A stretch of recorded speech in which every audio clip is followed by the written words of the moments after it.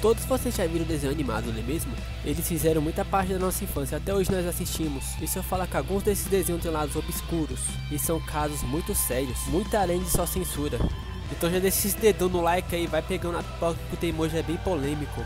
Racismo nos desenhos. E eu vou ter que falar palavras censuradamente porque o YouTube pode dar um strike bem feio no meu vídeo. E muitos de vocês conhecem esse meme do Pernalonga que viralizou há certo tempo. E se eu te falasse que a origem dele é bem racista? Tudo começa quando Pernalonga viaja para um lugar bem misterioso, que logo logo você entende onde é pelos estereótipos. O que começa a deixar o episódio estranho é com essa frase aqui. Hum, ratos. O episódio se passa com esse nativo tentando cozinhar e pegar o Pernalonga. E esse episódio foi banido de passar na televisão, tratando-se de um desenho bem antigo, de 1949. E você saber se você acha essa versão desse episódio no site por aí, ainda assim vai ter muitos cortes, porque esse episódio sofreu muitos cortes. Eu não posso mostrar muitos aqui, senão vai levar um ban bem, legal. Mas tem uma cena cortada desse episódio que eu consegui achar. Nessa cena o Pernalonga entra num vilarejo onde tem mulheres africanas. E pra se disfarçar ele bota pratos na boca e essas argolas no pescoço. Imagina o furdunço que se daria hoje em dia. E nesse vídeo banido tem até essa cena dele andando junto com elas. E o episódio polêmico acaba com essa cena aqui. Mas enfim, ganhei alguma coisa pelo meu trabalho. Eu também. Você está muito elegante, pequenino. Parece até New Look.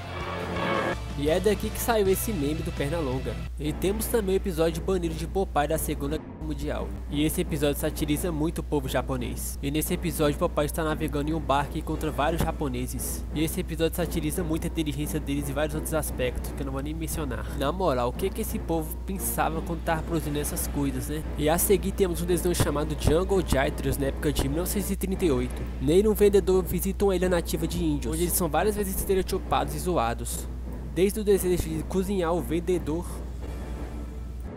e até de forçá-lo a casar com a sua rainha. E o episódio termina com o vendedor com tanto medo de casar com a rainha que ele prefere jogar um caldeirão. Bem macabro, não é mesmo? Tem Duke Tetris, 1942, e traça de um desenho produzido na Segunda Guerra Mundial. E nele você pode ver como o nazismo se instala em um galinheiro. Tudo começa quando de um ovo nasce essa figura aí que você já sabe até quem é, né? E logo depois o galinheiro fica um caos. E o desenho usa toda oportunidade para satirizar os japoneses. Esse desenho encontra-se banido na televisão, mas você consegue acessá-lo facilmente pelo YouTube. E o desenho termina quando o galinheiro se revolta com aquilo e resolve combater. E temos novamente o Clube das Winx, lembrando que ele apareceu no vídeo aqui do canal de Iceberg, galera. Vai estar tá passando um card aí em cima, você clica se você não viu e vê. E o Clube das Winx também tem um episódio racista, o episódio 12 da primeira temporada. E nesse episódio de Miss Asterix joga um feitiço em uma pessoa e sabotam ela do concurso, fazendo seu cabelo sair de liso para Black Power. E a personagem fica constantemente chorando e incomodada. Vou passar o trecho aqui. Catástrofe. Olha o meu cabelo.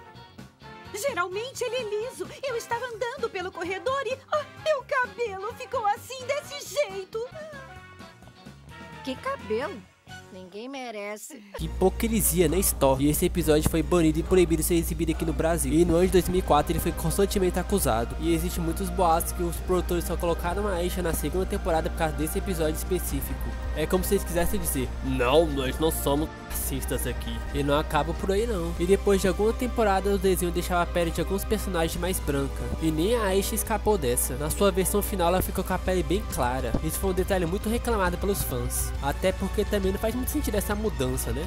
E Tom e Jerry também desde a época de 30 tinha muitas piadas racistas nos seus episódios. E você pode ver esse episódio até o dia de hoje, mas os dias estão censurados como você está vendo na imagem. Igual nesse episódio de 1947 que você está vendo na imagem. Quando os personagens sofriam alguma explosão, algum dano, ou talvez alguma sátira racista, Jerry era bem polêmico e eles usavam sempre os mesmos estereótipos porcos, mas para quem nasceu no século passado poderia ser comum ver essas cenas na televisão. Mas isso não passa de uma forma vergonhosa, racista eu digo que novamente muito vergonhosa. E pensar que eram grandes empresas que produziam esses desenhos antigamente. Que ainda hoje em dia são grandes empresas milionárias. E essa sem dúvida é uma parte da história que é melhor continuar sendo esquecida e para ela nunca mais ser produzida novamente.